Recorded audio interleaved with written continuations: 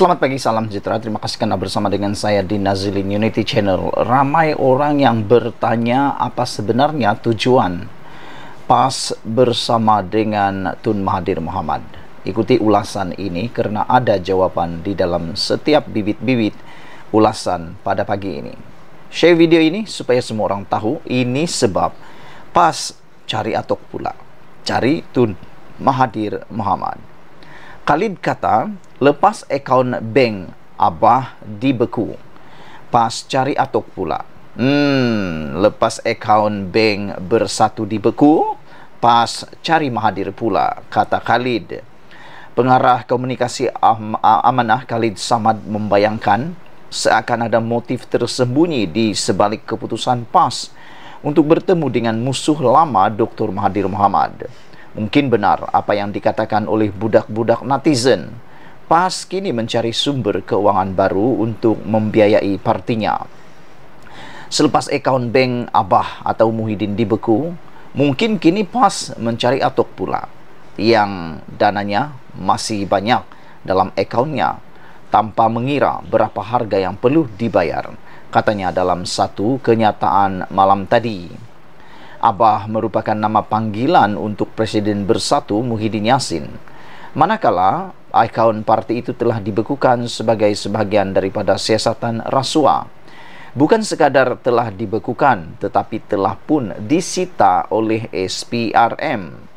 Akaun Bersatu didakwa digunakan untuk menerima sogokan yang kemudiannya digunakan untuk membiayai kempen Perikatan Nasional pada pilihan raya tahun lalu. Sementara itu, Mahathir 97 tahun dituduh mengumpul kekayaan sepanjang 22 tahun menjadi Perdana Menteri kali pertama dahulu, satu dakwaan yang dinafikannya. Mahathir baru-baru ini menyaman Perdana Menteri Anwar Ibrahim kerana membuat dakwaan sedemikian. Rabu lalu, pemimpin tertinggi PAS termasuk Presidennya Abdul Hadi Awang bertemu dengan Mahathir untuk menandatangani proklamasi orang Melayu. Dokumen yang menggesa orang Melayu bersatu untuk menyelamatkan kaum mereka. Sebelum ini, Hadi juga pernah berkongsi pentas dengan Mahathir semasa Kongres Martabat Melayu pada tahun 2019. Menjelaskan tindakannya menandatangani proklamasi itu, Hadi semalam berkata, perjuangan berasaskan kaum ini tidak bertentangan dengan ajaran Islam. Bagaimanapun, Khalid yang juga bekas ahli PAS berkata, ini tersasar daripada dasar parti itu sebagai sebuah parti Islam inklusif yang mengerangkumi semua tanpa melihat kaum. Saudara-saudara sekalian, apabila didedahkan oleh Khalid Abdul Samad ini, iaitu uh, pengurus uh, iaitu pengarah komunikasi amanah sesuatu yang menjadi tanda tanya atau boleh difikirkan oleh kita semua boleh membuka minda kita boleh kita hurai dan boleh diperdebatkan apa pendapat anda dengan ulasan Khalid Samad ini benarkah seperti yang dikatakan oleh Khalid Samad ini membayangkan seakan ada motif tersembunyi di sebalik keputusan PAS untuk bertemu dengan musuh lamanya yaitu Dr. Mahathir Mohamad. Khalid kata mungkin benar apa yang dikatakan oleh budak-budak netizen. PAS kini mencari sumber keuangan baru untuk membiayai partinya. Ini apabila akaun bank Abah dibeku. Mungkin kini PAS mencari otok pula untuk dananya masih banyak pula yang dananya masih banyak dalam akaunnya tanpa mengira berapa harga yang perlu dibayar. Ikuti terus ulasan selepas ini. Selamat pagi. Habislah PAS kali ini. PAS mungkin akan kalah teruk dalam PRN akan datang. Kenapa? Ini isunya. Isu duit balik mengundi akan kacau usaha PAS dominasi Kelantan itu kata penganalisis politik.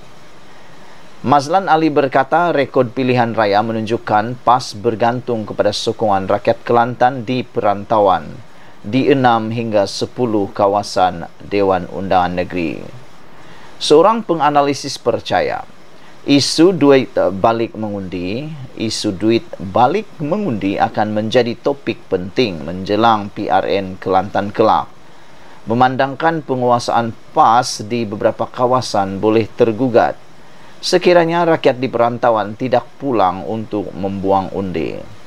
Mazlan Ali daripada Universiti Teknologi Malaysia berkata, semakan ke atas rekod pilihan raya sejak 2018 menunjukkan PAS bergantung kepada sokongan rakyat Kelantan di perantauan untuk mengatasi penyokong pembangkang di enam hingga sepuluh kawasan Dewan Undangan Negeri. Katanya kepada FMT, pengundi gairah pulang menjadi pengundi eh, gairah pulang mengundi apabila ada duit minyak dalam keadaan logistik tak berapa kemas, mereka nak pulang pun akan fikir balik, kata beliau lagi kalau undi luar tak balik, PAS akan ada masalah. Mazlan menjangkakan pentadbiran PAS akan bertahan namun Barisan Nasional Pakatan Harapan berpotensi merapatkan jurang di Dewan Undangan Negeri. Kalau pengundi luar tak balik dan peratusan undi rendah, BN ada peluang tambah kerusi di beberapa kawasan apabila digabung atau bergabung dengan Pakatan Harapan, katanya. Ahmad Aturi Hussein daripada Universiti Sains Malaysia pula berkata, ketiadaan pemimpin AMNO yang berwibawa di Kelantan menyukarkan peluang BNPH memenangi lebih banyak kerusi. Harapan Tengku Razali Hamzah harapkan Tengku Razali Hamzah pun dia pun sudah kalah di Gua Musang harapkan Dr. Asraf Wajdi dia pun lari ke Greek dan ke Cundang. Lain-lain pemimpin pun tak tidak segagah mana katanya. Atore percaya bekas ahli Parlimen Ketereh Anwar Musa boleh mencari nilai tambah kepada PAS di Kelantan. Cuma setakat mana nilai itu tidak pasti. Pada kedudukan sekarang, PAS menduduki 37 daripada 45 kerisi Dewan Undangan Negeri di Kelantan dan selebihnya dimiliki oleh Barisan Nasional. Pada PRU 15, PAS dan Perikatan Nasional menawan semula kerusi parlimen di negeri itu. Saudara-saudara sekalian, bercakap tentang dana politik ini, ia amat subjektif. Lebih-lebih lagi sekarang, akaun Parti Bersatu telah disita oleh SPRM. Jadi, adakah itu juga mempengaruhi dana politik PAS? Sehingga ada laporan menulis Khalid Samad mengatakan bahawa lepas akaun bersatu atau lepas akaun Abah dibeku, PAS cari atok pula. Adakah ini yang menyebabkan PAS mencari atok?